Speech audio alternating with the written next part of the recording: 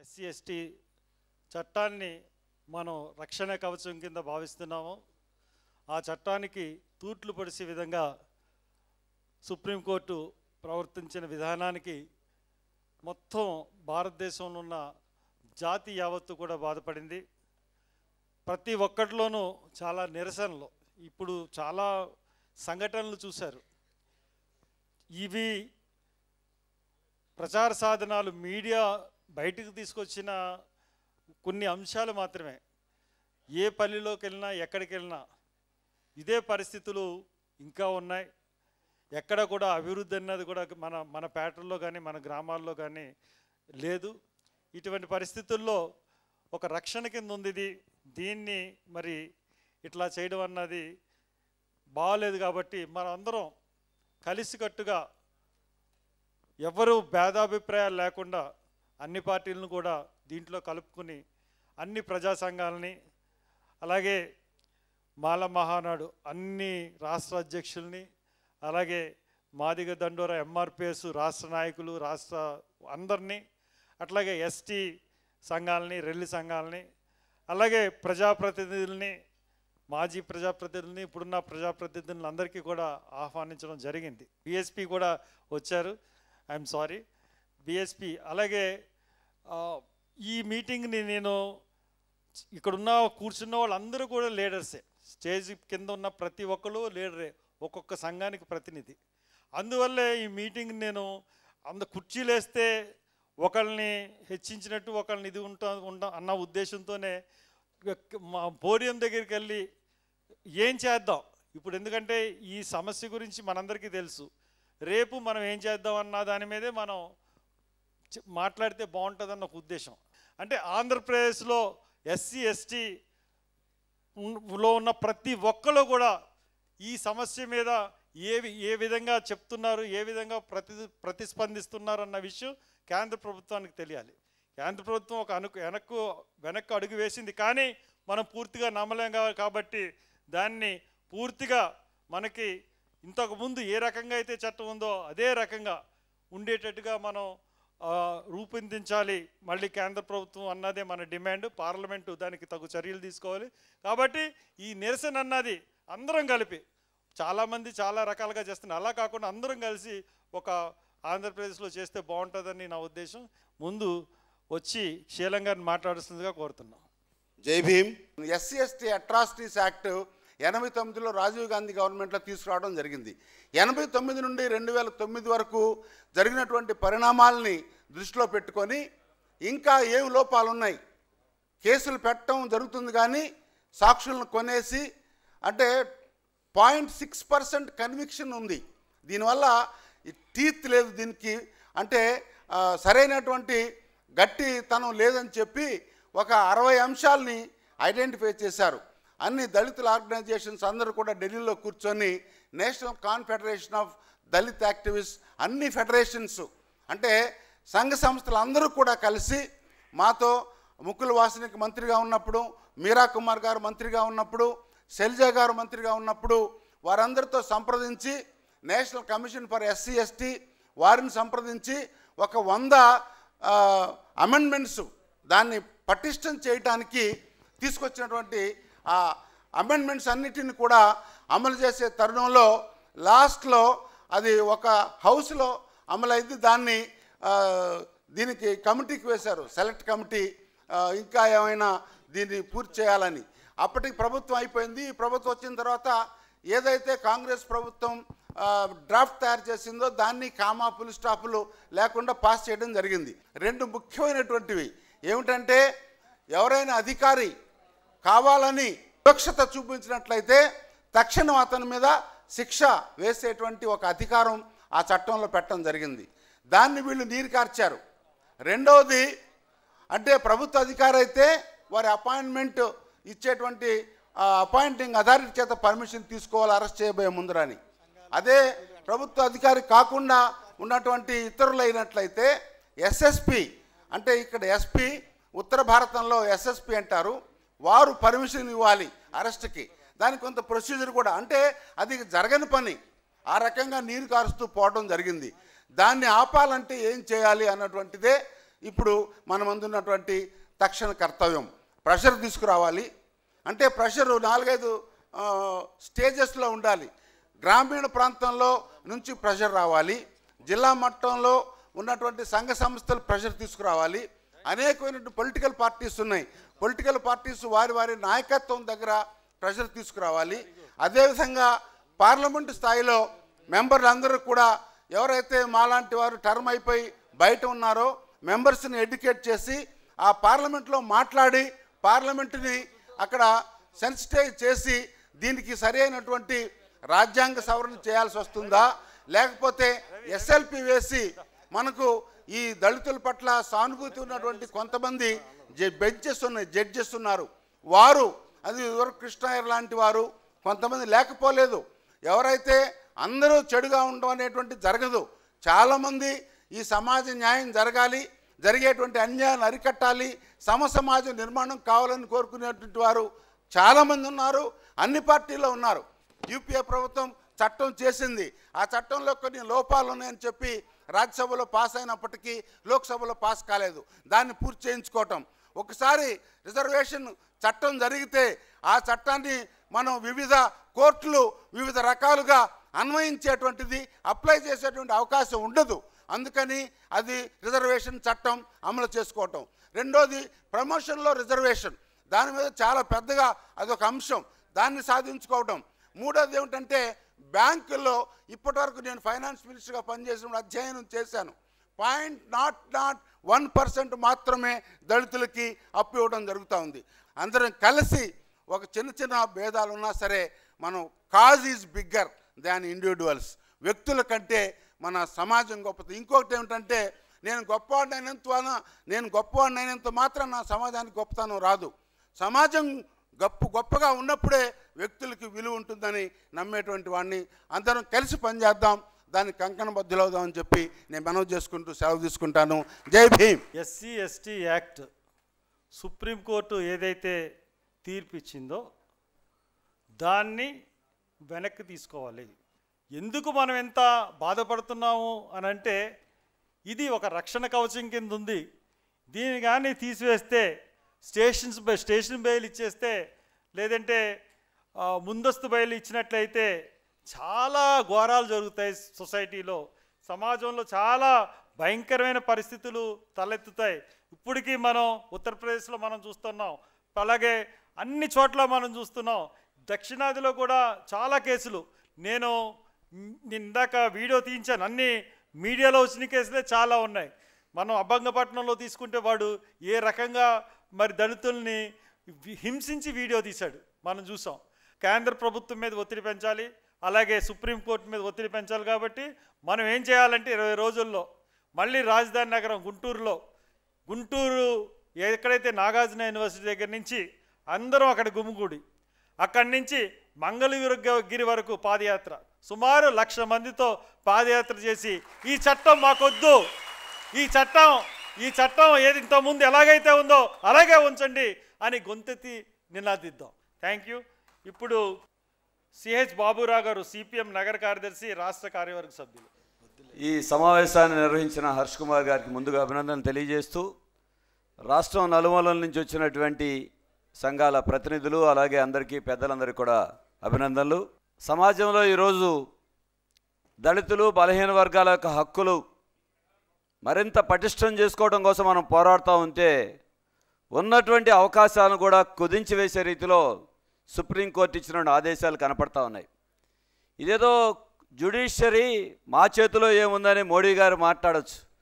కానీ జరుగుతున్నటువంటి ఘటనలన్నీ చూస్తే ఇవి యాదృచ్ఛికం కాదు. ఉన్నటువంటి బలహీన వర్గాల దళిత వ్యతిరేకమైనటువంటి వైఖరికి వాళ్ళ విధానపరంగా జరుగుతున్నటువంటి కుట్రలో భాగంగానే ఇవన్నీ జరుగుతూ ఉన్నాయి. ఎస్సీ ఎస్టీ అట్రాసిటీ యాక్ట్స్ యథాస్థితి కొనసాగించాలని చెప్పారు.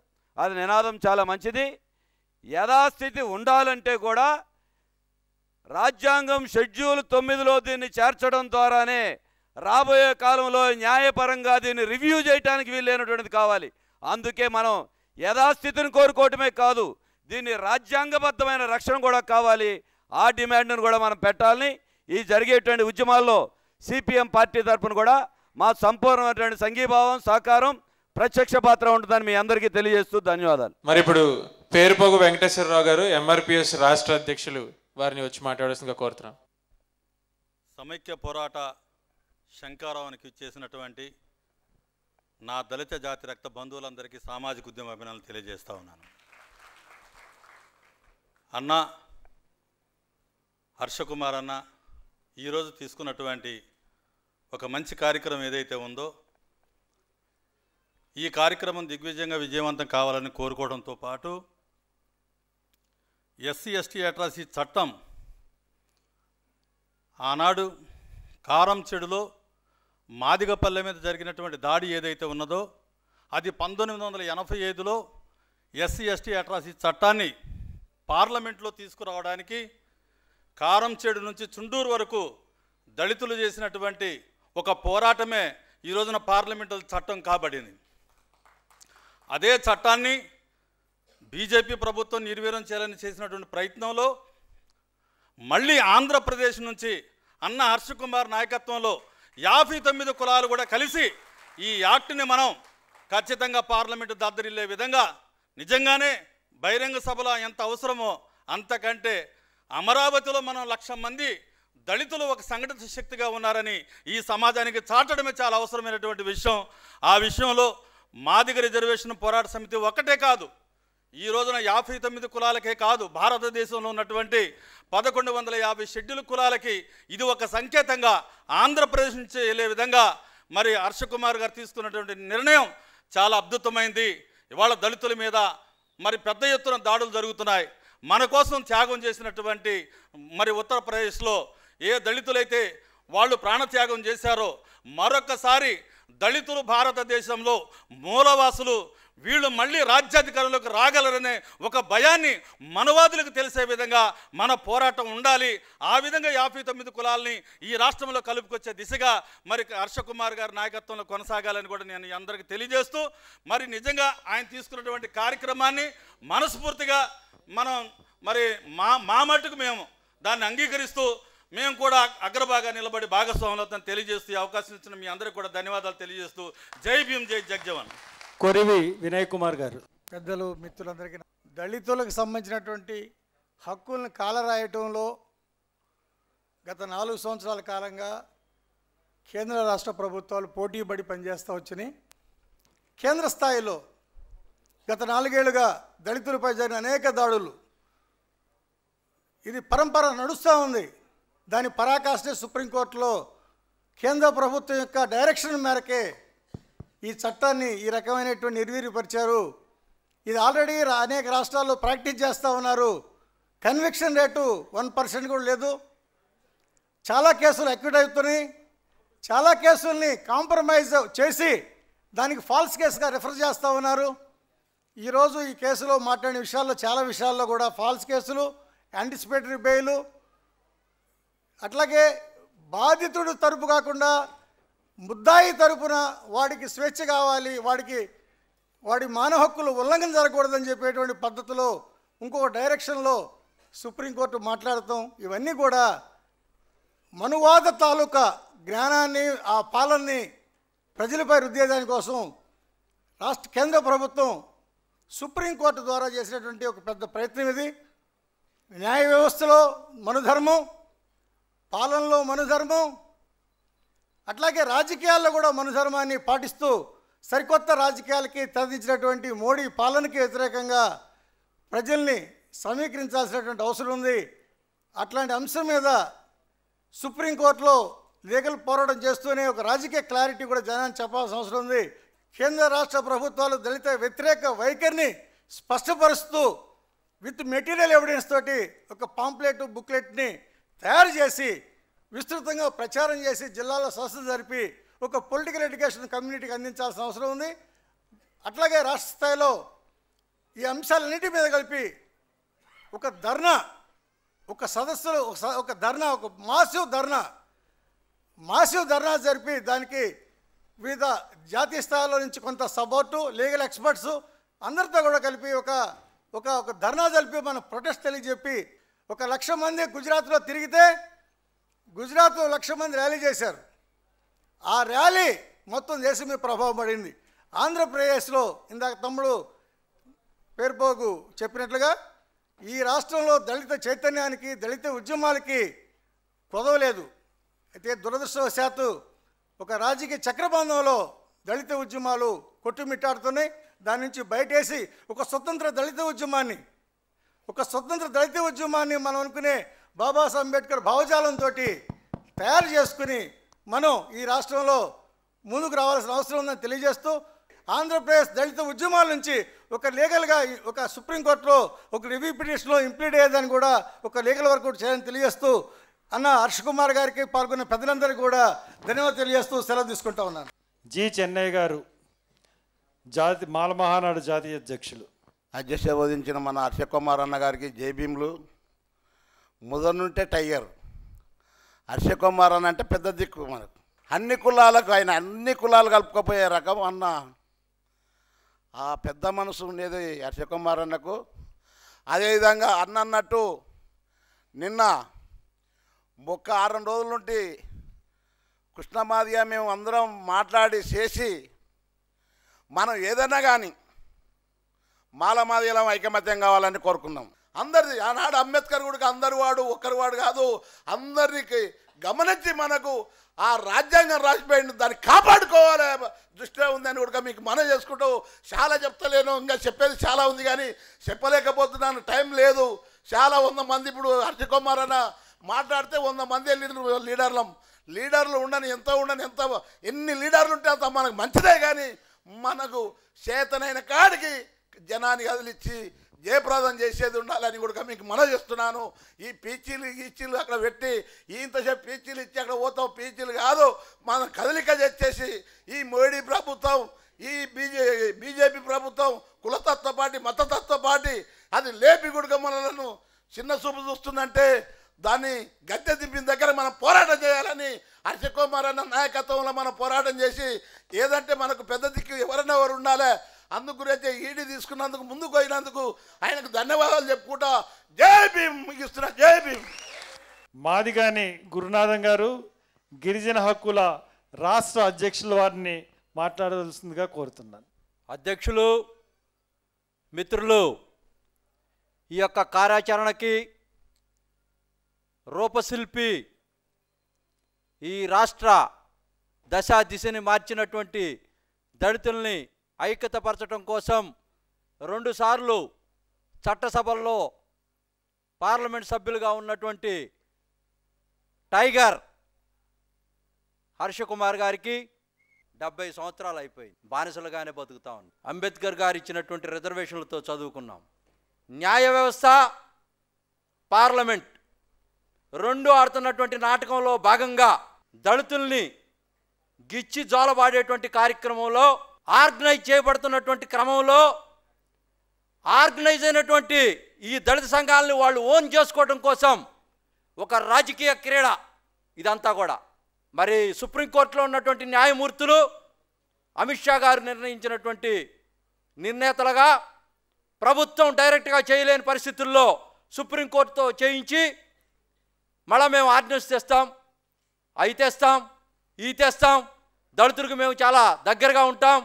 ఇవన్నీ కట్టుకథలు చెబుతూ తర్వాత ఏదో తాయిలాలు ఇచ్చిన సందర్భంలో ఈ దళితులంతా ఓన్ చేసుకోవడం కోసం ఆడుతున్నటువంటి నాటకంలో భాగమే ఈ యొక్క అట్రాసిటీ కేసెస్ సంబంధించినటువంటి అంశం. మరి ఎన్నో ఉద్యమాలు చేస్తూ ఉన్నాం. నేను చైతన్య యాత్రలు చేశాను పదమూడు జిల్లాల్లో. అన్ని ప్రాంతాల్లో దళిత గిరిజనుల్ని యాక్టివేట్ చేస్తూ ఉన్నాం. రేపు ఉమ్మడి కార్యక్రమం తీసుకున్నాం.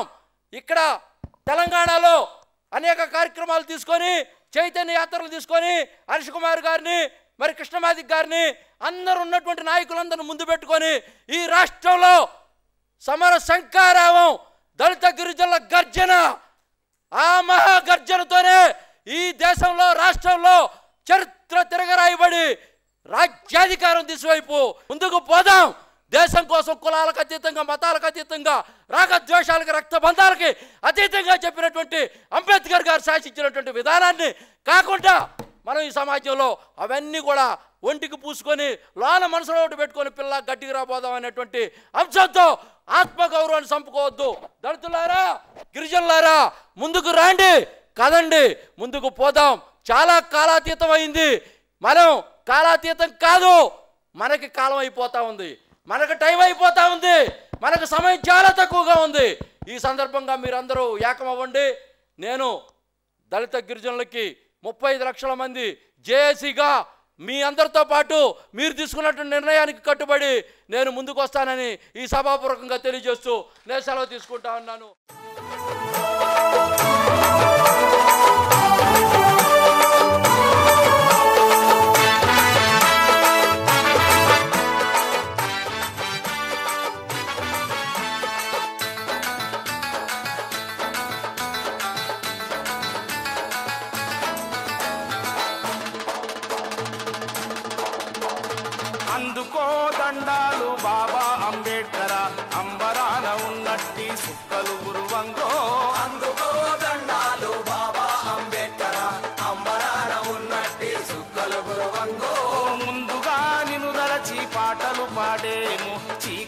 బ్రతుకుల్లో సూర్యుడు పొడవంగో. ముందుగా దలచి పాటలు పాడేము. చీకటి మా బ్రతుకుల్లో సూర్యుడు పొడవంగో. అందుకో దండాలు బాబా అంబేడ్కర అంబరాన ఉన్నట్టి సుక్కలు గురువంగో. ముందుగా నీవు దరచి పాటలు పాడేము. చీకటి మా బ్రతుకుల్లో సూర్యుడు పొడవంగో.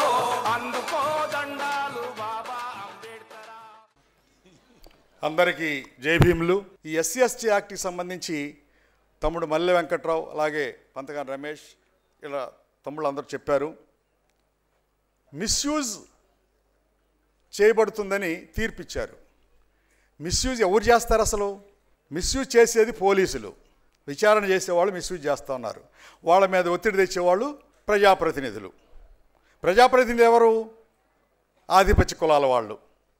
ఆధిపత్య కులాల వాళ్ళు ఒత్తిడి చేస్తే అధికారం అంటే డ్రెస్ చేసుకుని బ్యూరాక్రాట్స్గా ఉన్నటువంటి పోలీసులు వాళ్ళకి తలొగ్గి వాళ్ళు మిస్యూజ్ చేస్తారు. మిస్యూజ్ చేస్తున్న వాళ్ళ మీద శిక్ష వేయాల్సింది పోయి కంప్లైనెంట్స్.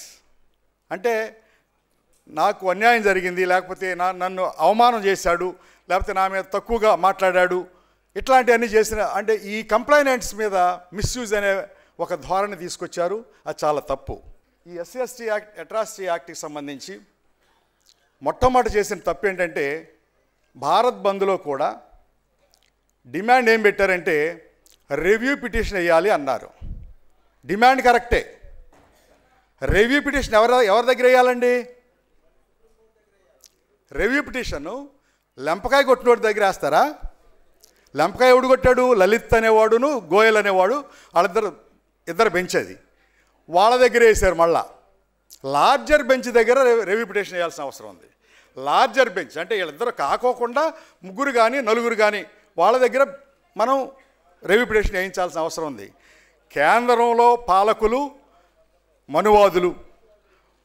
వాళ్ళు క్లియర్గా చెప్పారు. లలిత్ గోయల్ కూడా ఏమని చెప్పారు? ఏమయ్యా మీరే కదయ్యా దీన్ని నిర్వీ నిర్వీర్యం చేయాలని మాకు చెప్పింది. అందుకనే చేసాం మళ్ళీ వచ్చి మళ్ళీ రెప్యుటేషన్ ఎలా వేస్తారు మేము అందుకనే మేము స్టే ఇవ్వమని చెప్పారు. అది చాలా తప్పు. ప్రతి ప్రతివాడు తమ బాధ్యతగా ఫీల్ అవ్వాల్సిన అవసరం ఉంది. మళ్ళీ ఇప్పుడు ఇంకా తమ్ముడు వాళ్ళు ఎవరు చెప్పారు. ఏమన్నా మనం పల్లెల్లో చెప్పాలి. మనం అంటలేదు. పల్లెల్లో చెప్పాలి. పల్లెల్లో ఎవడు చెప్తాడు? మళ్ళీ హర్ష కుమార్ గారు వెళ్ళి పల్లెల్లో చెప్పాలి. మళ్ళీ హర్ష కుమార్ గారు వెళ్ళి మళ్ళీ ఆనంద తెచ్చుకోవాలి. ఎవరికి వాళ్ళు బాధ్యతగా మనం చేయగలిగిన నాడు తప్పనిసరిగా ఈ పాలకులు దిగి వస్తారు. దిగి రాకపోతే అది అది వాళ్ళకి చరమదశ అది. దగ్గరికి వచ్చేసింది. ఆ దగ్గరికి వచ్చిన దాన్ని మరింత వేగవంతం చేయడానికి మీరందరూ సమిష్టిగా ఈ కార్యక్రమాల్లో పాల్గొవాల్సిందే కోరుతూ జై భీములతో ముగిస్తా ఉన్నాను ఇప్పుడు ఎర్రమిల్లి రాములు గారు జాతీయ అధ్యక్షులు మాల మహానాడు వారిని మాట్లాడాల్సిందిగా కోరుతున్నాం. జై భీమ్. జై భీమ్. జై జై జై జై జై భీమ్. అట్రాసిటీ చట్టాన్ని కేంద్ర ప్రభుత్వం మోడీ ఒక బోడీ ఇవాళ మనకు బోడగుండు గీగుతూ ఉంటే మనం ఇంకా తప్పట్లు కొట్టుకుంటూ కూర్చుంటున్నాం. బాబాసాహెబ్ అంబేద్కర్ ఇచ్చిన చట్టాల్ని వాళ్ళు కావాలని కుట్ర చేసి కుట్రపూరితంగా ఇంకెంతకాలం వీళ్ళకి రిజర్వేషన్ అనేటి ఒక వాదనలో భాగంగానే ఇవాళ ఎలక్ట్రిసిటీ చట్టం పైన వాళ్ళు మొట్టమొదటిసారిగా సుప్రీంకోర్టు నుంచి మనకు చివాట్లు వేశారు. ఇప్పటికైనా మనం మేలుకుంటే అంబేద్కర్ యొక్క ఆలోచన విధానాన్ని ముందుకుపోయిన వాళ్ళం అవుతాం. ఇవాళ ఇంకొక విషయం ఇవాళ మనకున్నటువంటి ఎంపీలు ఒక్కళ్ళు కూడా ఆంధ్ర కానీ తెలంగాణ కానీ దక్షిణ భారతదేశం నుంచి ఒక్క ఎంపీ మాట. రేపటి నుండే గ్రామ స్థాయి నుండి మండల స్థాయి నుండి ఎట్రసిటీ కేసు మీద జరుగుతున్నటువంటి దుర్మార్గమైన చర్య కేంద్ర ప్రభుత్వం చేసిన దానికి తిప్పికొట్టడం కోసం సైనికులాగా తయారు చేయాల్సిన బాధ్యత స్వీకరించాల్సిన అవసరం ఉంది. ప్రభుత్వ ప్రభుత్వ కార్యాలయాలను దిగ్బంధం చేయాల్సిన అవసరం ఉంది. ఎవరం కూడా వెనక తగ్గాల్సిన పనుల. అది నా పాత్ర నీ పాత్ర అనేది పంచుకోవాల్సినటువంటి సమయం కాదు. అందరం ఒక దగ్గర కూర్చోవాల్సిందే. ఖచ్చితంగా ఎస్సీ ఎస్టీ అట్రాసిటీ చట్టాన్ని తిరిగి నైన్త్ షెడ్యూల్లో చేర్చుకొని శాశ్వతమైన పరిష్కారం కోసం ఉద్యమానికి మరో ఉద్యమానికి మరో కిరటానికి మరో కృష్ణ నగరం కృష్ణా జిల్లా అమరావతి నగరం ఉవ్వెత్తున లెగాల్సినట్టు అవసరం ఉందని చెప్పని తెలియపరుస్తూ అంబేద్కర్ రాజ్యం కావాలనుకున్నప్పుడు ఖచ్చితంగా ఇదే ఈ ఉద్యమమే ప్రథమ స్వీకారంగా చుట్టాల్సిన అవసరం ఉంది. ఆ దశగా నడిచే క్రమంలో మీతో పాటు నేను కలిసి నడుస్తానని చెప్పని ఈ సందర్భంగా హామీ ఇస్తూ మీతో పాటు కలిసి తిరుగుతానని చెప్పని కోరుకుంటూ వేడుకుంటూ సెలవు తీసుకుంటున్నాను. జై భీమ్! మేళ్యం భాగ్యాలరావు గారు దళిత బహుజన ఫ్రంట్ జాతీయ కార్యదర్శి. అందరికీ జై భీమ్. ముఖ్యంగా అన్న హర్ష్ కుమార్ గారికి అభినందనలు. అందరిని మనందరిని ఒక చోట పిలుపునిచ్చినందుకు ఎస్సీ ఎస్టీ అట్రాసిటీస్ యాక్ట్ ఇరవై తొమ్మిది సంవత్సరాలైంది వచ్చి ఈ చట్టం వచ్చి అట్రాసిటీస్ యాక్ట్ మీదనే సుప్రీంకోర్టు అట్రాసిటీ చేసింది ఇప్పుడు. అట్రాసిటీస్ యాక్ట్ అసలు భారతదేశానికి స్వాతంత్రం వచ్చిన తర్వాత కేంద్ర పార్లమెంట్లో ఆమోదించబడినటువంటి జాతీయ చట్టాల్లో అట్రాసిటీ అనే పదాన్ని మొదట వాడిందే ఈ చట్టానికి. అసలు ఆ పదాన్ని ఎందుకు వాడారు? అట్రాసిటీ అసలు ఇంతవరకు అట్రాసిటీ అనే పదాన్ని వాడలేదు ఏ చట్టానికి ఇండియాలో? ఒకే ఒక చట్టానికి ప్రివెన్షన్ ఆఫ్ అట్రాసిటీస్ యాక్ట్ అని వాడారు. ఎందుకు పెట్టారు అట్రాసిటీ ఇది కులం కారణంగా జరుగుతున్న దాడులు. ఈ కులాల్లో పుట్టినందుకే వీళ్ళ మీద అత్యాచారం జరుగుతుంది. అట్రాసిటీ జరుగుతుంది. ఇదేదో ఇద్దరు వ్యక్తులు తన్నుకుంటేనో రెండు కుటుంబాలు తన్నుకుంటేనో కాదు ఇది. అఫెన్సెస్ చాలా జరుగుతాయి. క్రైమ్ జరుగుతుంది.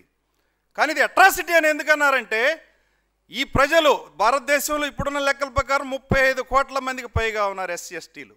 ఈ కులాల్లో పుట్టిన కారణంగానే వీళ్ళ మీద దాడులు జరుగుతున్నాయి. కులం పేరుతో అవమానం మనకు తెలుసు ఇదంతా కూడా. కులం పునాదుల్లో నుంచి కులం కారణంగా వచ్చింది కాబట్టి ఇది అట్రాసిటీస్ యాక్ట్ అన్నారు మొదటి. అట్రాసిటీ అనే పదాన్ని దీనికి వాడారు అని చెప్పి వాళ్ళే దానికి చెప్పారు. ముప్పై ఐదు కోట్ల మంది భారతదేశంలోని ఎస్సీ ఎస్టీల పరిరక్షణ కోసం ఉన్న చట్టాన్ని నిర్వీర్యం చేయటం కూడా అట్రాసిటీయే అట్రాసిటీస్ యాక్ట్ని నిర్వీర్యం చేయాలని చూసినటువంటి ఈ జస్టిస్లు ఎవరైతే ఉన్నారో ఆ జస్టిస్ల మీద కూడా SC ST prevention atrocities act కింద కేసు కట్టి చర్యలు తీసుకోవాలనే డిమాండ్ కూడా మనం పెట్టాల్సిన అవసరం ఉంది ఖచ్చితంగా. అందుకని మనం ఈ రాష్ట్రంలో కమ్మారెడ్డి అధికారాన్ని అడ్డుకోవాలి దేశంలో బీజేపీని తరిమి కొట్టాలి హిందూ పా- హిందూ మహాసముద్రంలో తొక్కి పెట్టాలి దాన్ని. జై భీమ్. ఇప్పుడు స్వర్ణకుమారి గారు ఏపీ ట్రాన్స్కో బహుజన్ ఎంప్లాయీస్ రాష్ట్ర కార్యదర్శి. ఈనాటి ఎస్సీ ఎస్టీ అట్రాసిటీ కేసు స్థితిగా ఈ యొక్క సమర సంకారాన్ని పూరించిన మన అధ్యక్షులు హర్ష్ కుమార్ గారికి మరి వివిధ ప్రాంతాల నుంచి వచ్చిన మరి దళిత నాయకులకి అధికారులకి పెద్దలకు సోదరులకి సోదరమణులకి అందరికీ బహుజన అసోసియేషన్ తరఫున ముందుగా నా జై భీములు తెలియజేస్తున్నానండి. దళితులంటేనే ధైర్యం దళితులంటేనే త్యాగం.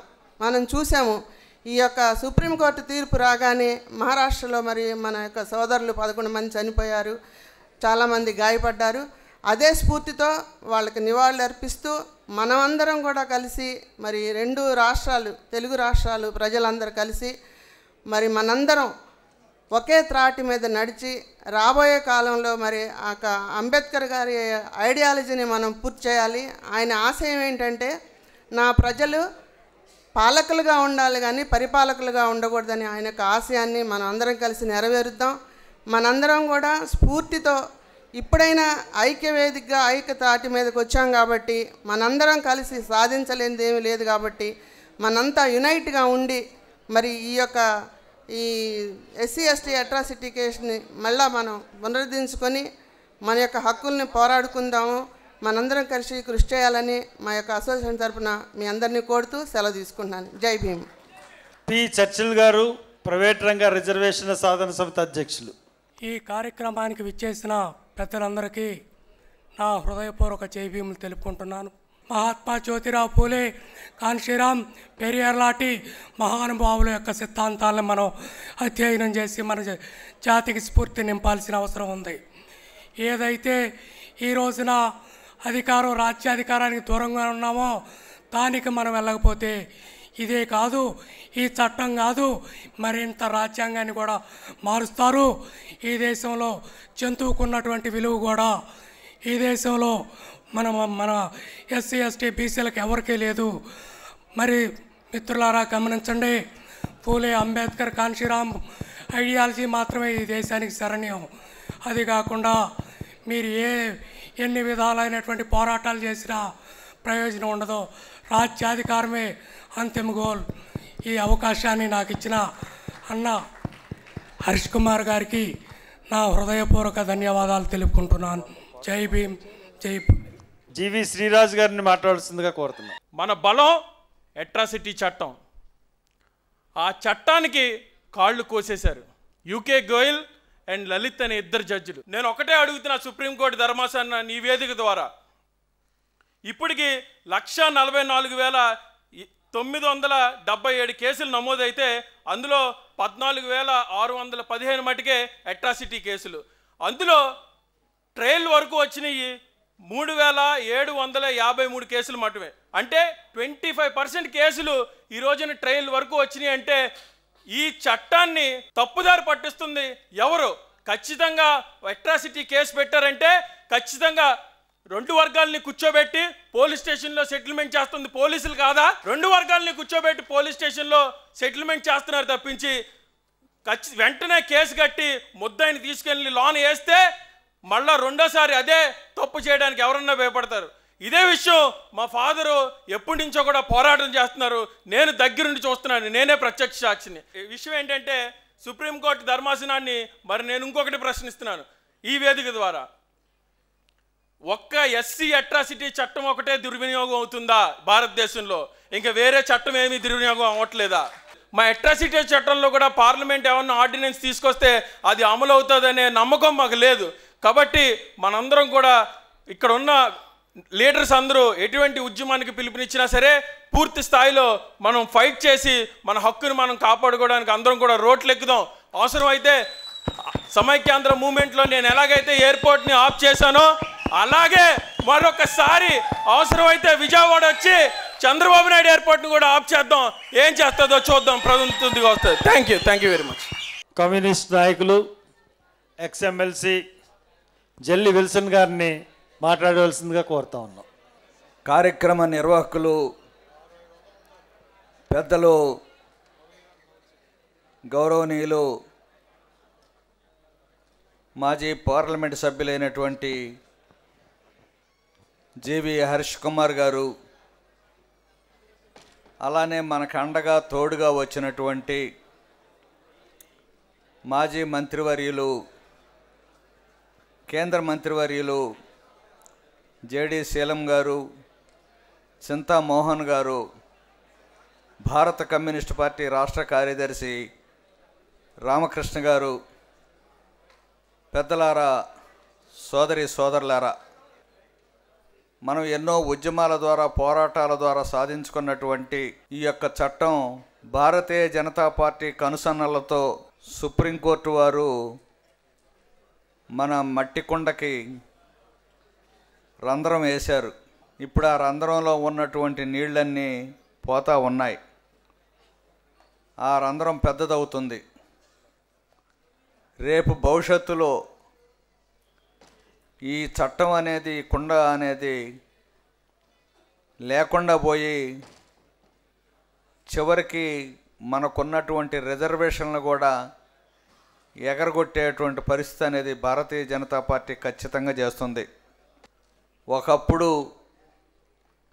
నిజంగా పెళ్ళిళ్ళు చేసుకుంటే ఊళ్ళోకి వెళ్ళనివ్వకుండా కొత్త బట్టలు వేసుకొనివ్వకుండా చెప్పులు తొడుక్కొనివ్వకుండా ఉన్నటువంటి పరిస్థితుల్లో ఆనాటి కమ్యూనిస్టు నాయకులు మన దళితవాడల్లోకి వచ్చి అందరిని చైతన్యవంతం చేయటం అనేది జరిగింది. చైతన్యం అయ్యాం పోరాటాలు స్వాతంత్రం వచ్చింది పోరాటాలు చేశాం చట్టాలు సాధించుకున్నాం. డాక్టర్ బాబాసాహెబ్ అంబేద్కర్ గారి యొక్క చలవతోటి రిజర్వేషన్లు ఇంకా చాలా అవకాశాలు మనం పొందాం. ఈ వచ్చినటువంటి చట్టాలని నా ముందు చెప్పినటువంటి వక్తలు ఇవాళ ఒక్కటే ఒక్క నినాదం మంది. ఈ యొక్క అట్రాసిటీస్ యాక్ట్ చట్టాన్ని తొమ్మిదవ షెడ్యూల్లో చేర్చేదాకా మన అందరం కూడా ఐక్య ఉద్యమాన్ని నిర్మించాలని చెప్పేసి మిమ్మల్ని అందరినీ కోరుకుంటూ నేను సెలవు తీసుకుంటా ఉన్నాను. ఇప్పుడు మనందరం ఎదురు చూస్తున్నటువంటి సిపిఐ ప్రధాన కార్యదర్శి రామకృష్ణ గారిని మాట్లాడాల్సిందిగా కోరుతున్నాం. అలాగే చింతమోహన్ గారు ఇద్దరిని కూడా వేదిక మీదకి వెళ్ళాల్సిందిగా కోరుతున్నాం. సభాధ్యక్షులు పెద్దలు హర్ష్ కుమార్ గారు మన సమావేశాన్ని ప్రారంభించిన మాజీ కేంద్ర మంత్రి శీలం గారు మాజీ పార్లమెంట్ సభ్యులు చింతామోహన్ గారు ఇంకా ఇక్కడ చాలామంది ప్రముఖులందరూ ఉన్నారు. ప్రముఖులు అదేవిధంగా ఇక్కడ హాజరైన వివిధ సంఘాల నేతలు మీడియా మిత్రులు అందరికీ ముందుగా నమస్కారాలు. నాకు తెలిసినంత వరకు ఒక అంశం పైన ఇంతమంది దళిత సంఘాలు గిరిజన సంఘాలని నాయకులందరినీ ఒక వేదిక మీదకి తేవడం అనేది చాలా కష్టసాధ్యమైంది. దీని వెనక కూడా ఎంతో కృషి ఉంటుంది. కాబట్టి ఆ కృషిలో సఫలీకృతుడైనాడని చెప్పి నేను భావిస్తూ ఉన్నా. ఇది ఇక్కడే కాదు ఇవాళ దేశవ్యాప్తంగా అణగారిన వర్గాల ప్రజల్లో ఉన్న ఆవేదన ఆక్రోశం మరో మాటలో వారిలో ఉన్న అసంతృప్తి ఇవాళ ఎక్కడ పోయినా ఒకే రీతిలో ఉంది. కానీ ఈరోజు స్పష్టంగా చెప్తా ఉన్నాం ఎస్సీ ఎస్టీ అట్రాసిటీ యాక్ట్ ఏదైతే యథాస్థితిలో ఉన్నామో ఉండాలని చెప్తా ఉన్నామో దానికి మాత్రమే పరిమితం కాకూడదు. కారణం ఏమంటే మార్పు రాలే. నేను ఒక నా పర్సనల్ ఎక్స్పీరియన్స్ చెప్తా. సామాజిక హక్కుల వేదిక అనేది ఏర్పాటు చేసి బస్సు యాత్ర చేసినప్పుడు కొంతమంది కమ్యూనిస్టు మేధావులు కూడా నన్ను క్వశ్చన్ చేశారు. ఎక్కడుందే అణగారిన వర్గాల్లో మార్పులు వచ్చినాయి? ఇవాళ ఏం పెద్ద మార్పులే అంటరానితనం ఎక్కడుంది? చాలా మారినాయని చెప్పారు. నాతో క్వశ్చన్ చేసి నన్ను ప్రశ్నించారు. డెబ్బై ఏళ్ళ స్వతంత్రం తర్వాత కూడా ఇవాళ సమాజంలో మార్పులు రాలేదు. అగ్రకులాల పెత్తనం కొనసాగుతూ ఉంది. వాళ్ళ చెప్పు చేతుల్లో రాజ్యం ఉండాలి. అన్నీ కూడా వారే ఉండాలని చూస్తూ ఉన్నారు. కాబట్టి నేను స్పష్టంగా మిమ్మల్ని అందరినీ కోరుతా ఉన్నా ఇవాళ ఏ ఐకమత్యంగా మనం ఇవాళ ఈ చట్టం విషయంలో పోరాడుతూ ఉన్నామో రాబోయే కాలంలో అన్ని రంగాల్లో మార్పులు రావాలి. ఉద్యోగాల్లో మన వాటా మనకు కావాలి. వ్యాపారాల్లో మన వాటా మనకు కావాలి. భూముల్లో మన వాటా మనకు కావాలి. పరిశ్రమల్లో మన వాటా మనకు కావాలి. రాజ్యాధికారంలో కూడా మన వాటా మనకు కావాలి. ఖచ్చితంగా చివరి వరకు కలిసి పోరాడదాం. అణగారిన వర్గాలకు డెబ్బై ఏళ్ళ స్వతంత్రం తర్వాత కూడా న్యాయం జరగల. గ్రామీణ ప్రాంతాల్లో అంటరానితనం పోలా. ఈనాటికి కూడా ఇప్పుడు అనుభవిస్తున్నవి కూడా వాళ్ళకి చూసి కడుపు మండుతూ ఉంది. ఉద్యోగాలు కూడా ఇంకా ప్రభుత్వ రంగంలో ప్రభుత్వం ఇవ్వదు. ప్రైవేట్ రంగంలోనే ఉంటాయి. ప్రైవేట్ రంగంలో కూడా రిజర్వేషన్లు కావాలి. వాటి కోసం కూడా ఒక బలోపేతమైన ఉద్యమాన్ని ఒక రాష్ట్రంలోనే కాదు దేశవ్యాప్తంగా కూడా దాన్ని ముందుకు తీసుకొని రావాలి. ఆ రకంగా మనమందరం కూడా కలిసికట్టుగా ముందుకు పోవాలని ఇవాళ విజయవాడ నగరంలో ఇంత మంచి కార్యక్రమాన్ని ఏర్పాటు చేసినందులకు మనస్ఫూర్తిగా మరొక్కసారి హర్ష్ కుమార్ గారిని అభినందిస్తూ సెలవు తీసుకుంటాను మరి మనందరం కూడా ఎదురు చూస్తున్నటువంటి మన ప్రీతమ నాయకులు మన చింతామోహన్ గారిని మాట్లాడుస్తుందిగా కోరుతున్నాం. జేడి శీలం గారు ప్రియమిత్రులు ఈరోజు ఈ కార్యక్రమాన్ని ముందుకు తీసుకెళ్తున్నటువంటి హర్ష్ కుమార్ గారు ఈ చివరి నుంచి ఆ చివరి దాకా అక్కడి నుంచి మొత్తం ఇక్కడికి వచ్చినటువంటి దళిత నాయకులకు సోదరులకు సోదరిమణులందరికీ హృదయపూర్వక వందనాలు. ఈ prevention of SC ST atrocities act ఎక్కడి నుంచి వచ్చింది? పంతొమ్మిది వందల ఎనభై తొమ్మిదిలో ఎవరో చెప్పారు విపి సింగ్ పాపం విపి సింగ్ సంబంధం లేదు. ఎనభై ఐదులో కారంచేడులో మహిళల బ్రెస్ట్లు కోశారు. కోయించింది ఆ రోజు చెంచురామయ్య ఎన్టీ రామారావు గారికి వియ్యంకుడు ఎనభై ఐదు నుంచి ఎనభై ఎనిమిది వరకు జనవరి వరకు చెంచురామయ్య గారిని అరెస్ట్ చేయలే. ఎనభై ఎనిమిదిలో నేను మార్చిలో రాజీనామా పెట్టాను. కారణం ఈ కారంచేడు విషయం పైన రాష్ట్ర ప్రభుత్వ వైఖరి ముఖ్యంగా ఎన్టీ రామారావు గారు చెంచురామ నాయుడు చెంచురామయ్య గారిని అరెస్ట్ చేయలేదన్న ఉద్దేశంతో నేను తెలుగుదేశం పార్టీకి మరి రెండు సంవత్సరాల ముందుగా లోక్సభకు రాజీనామా పెట్టడం జరిగింది. శంకరానంద్ గారు న్యాయశాఖ మంత్రి. పెట్రోలియం శాఖ కూడా చూస్తున్నాడు. మరి ఆయన శంకరానంద్ గారికి చెప్పారు ఈ చట్టానికి పదును పెట్టు చింతామోహన్ అనే ఒక అబ్బాయి వస్తాడు నువ్వు కలువు అన్నాడు. నేను వెళ్ళాను వాళ్ళ ఇంటికి. రేపు రా నువ్వు నేను క్యాబినెట్ సెక్రటరీని కాల్ను కూడా పిలుస్తాను అని. బ్రాహ్ముడు కాశ్మీరీ బ్రాహ్మిన్ పీకే కాల్ క్యాబినెట్ సెక్రటరీగా ఉన్నాడు. న్యాయశాఖ విభాగం అందరూ వచ్చారు. మరి శంకరానంద్ గారు ఇంటికి వచ్చారు. సామాన్యంగా ఒక దళితుడు ఒక కేంద్ర మంత్రి ఇంటికి క్యాబినెట్ సెక్రటరీ రావడం ముఖ్యంగా ఆదివారం పూట రావడం అనేది చాలా కష్టమైనటువంటి విషయం. బాబురావు గారు అర్థం చేసుకోగలరు.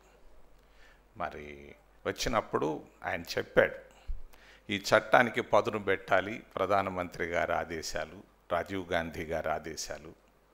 మరి వెంటనే చట్టాన్ని తీసుకురావాల్సిన బాధ్యత మీ పైన ఉందని చెప్తే దాన్ని ఒక నెల లోపల క్యాబినెట్లోకి తీసుకొని వచ్చి ఆ చట్టానికి పదును పెట్టడం జరిగింది. నేను చెప్పాను తిట్టినా కొట్టినా వెంటనే అరెస్ట్ చేసే విధంగా తీసుకురండి.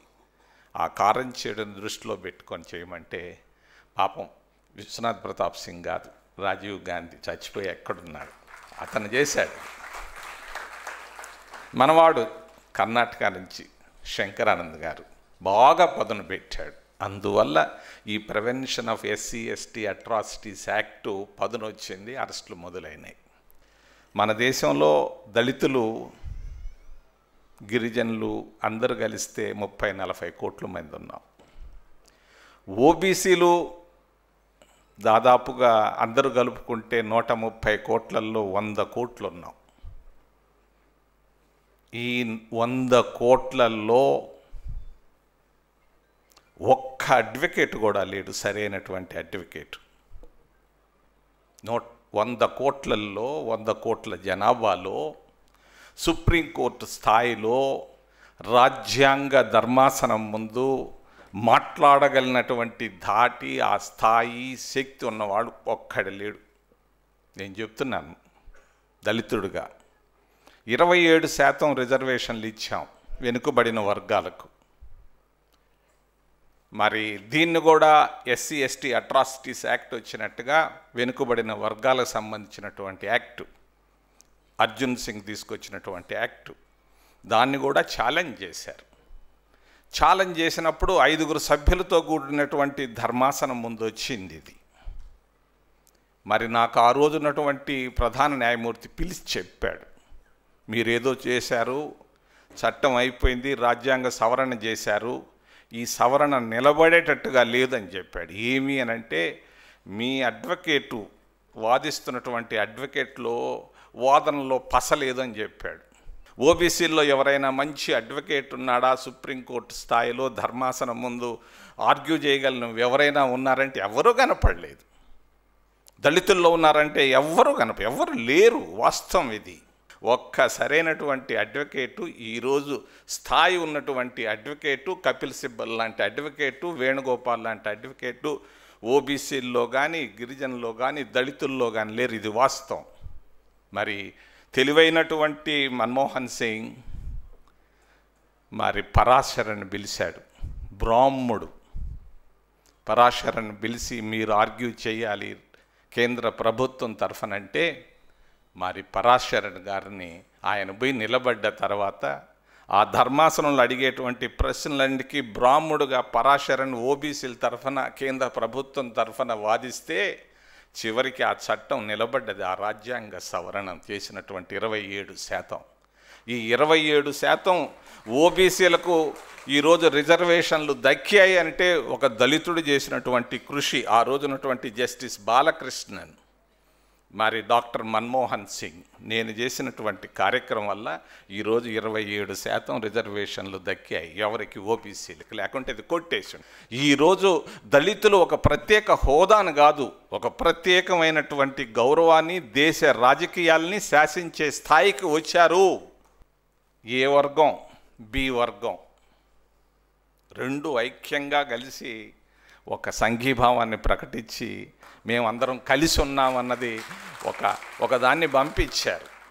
ఇది చాలా గొప్ప విషయం. ముఖ్యంగా హర్ష్ కుమార్ గారికి ప్రత్యేకంగా నా హృదయపూర్వక వందనాలు తెలియజేసుకుంటూ వచ్చినటువంటి ప్రతి ఒక్కరికి ప్రతి ఒక్కరూ చాలా గొప్ప సెన్స్తో మాట్లాడారు.